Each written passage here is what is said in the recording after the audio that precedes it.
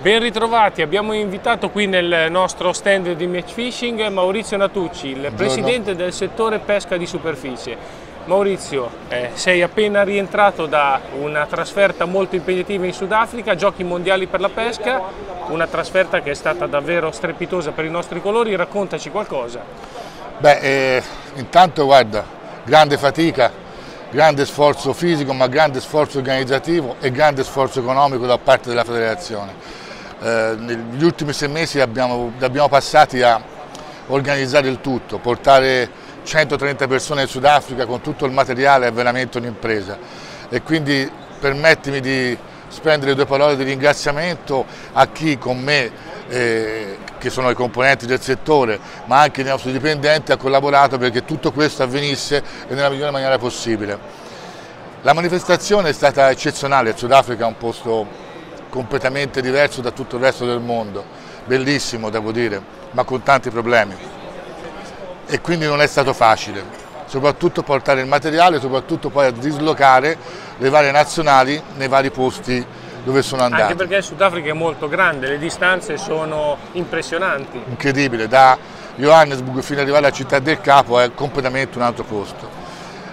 L'attività agonistica è andata molto bene, io sono molto contento. Dei 13 campionati che abbiamo fatto su 8, a 8 siamo andati a medaglia, in due il Black Bass e il Sercasting Seniores abbiamo fatto due quarti posti che gridano vendetta, nei predatori da barca eh, diciamo che potevamo fare un podio ma insomma abbiamo ottenuto un buon risultato, un settimo posto, un po' di delusione per il car fishing e il sarcastic femminile, ma sono sicuro che ripartiremo anche lì.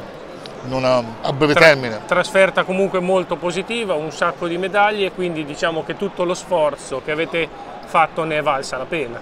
Sì, guarda, ci sono anche de, de, poi abbiamo avuto anche delle ciliegine sulla torta, delle grandi soddisfazioni col, col campionato femminile, con, con eh, de, il FIDE, ma con i master, cioè è stato incredibile. La gara che mi ha emozionato più di tutti è stato il campionato del, del, del sabato del, del femminile che insomma, a 50 minuti dalla fine eravamo non benissimo, in 50 minuti eh, si è ribaltato il mondo, abbiamo preso un argento incredibile con un po' di rammarico perché Veronica Visciglia è rimasta con una carpa di 3 kg sul guadino e voleva dire l'oro individuale, però è stata veramente una, una prestazione incredibile.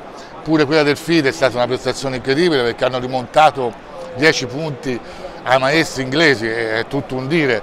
Eh, eh, diciamo che anche l'argento di Govi è un argento che brilla, un po, un po' di più. Brilla un po' di più, ma brilla un po' di vendetta perché per, per due giorni quello che ha vinto, bravissimo per l'amor del cielo, però una volta 120, una volta 70 grammi, è un argento che poteva essere anche un oro. Però devo dire che tutto questo è stato eccezionale. Bravissimi come sempre i master, non lo so, forse i vecchietti come li chiamiamo noi in Italia sono sempre più bravi perché da tutte le discipline abbiamo preso medaglie, dove ci sono master. Ora si tratta di iniziare l'attività nazionale ma anche l'attività internazionale in Italia dove quest'anno abbiamo... Infatti perché quello è il passato, adesso però non ci si ferma mai, siamo pronti, ci sono se non erro sette mondiali su quattro località proprio qui in Italia, quindi sì. lo sforzo organizzativo della FIPSAS non si ferma con il Sudafrica. No guarda, il tempo di riposarsi e ripartiamo, partiamo con, eh, con giugno, Porto Torres, campionato europeo di Canada al Riva, poi andiamo direttamente a, sempre a giugno nello scolmatore dove verrà disputato il campionato del mondo diversamente abili e veterani. Andiamo a settembre a Gallipoli dove ci sarà la canna natante Under 21 e Seniores e finiamo a Sabaudia con il self-casting Under 16 e Under 21.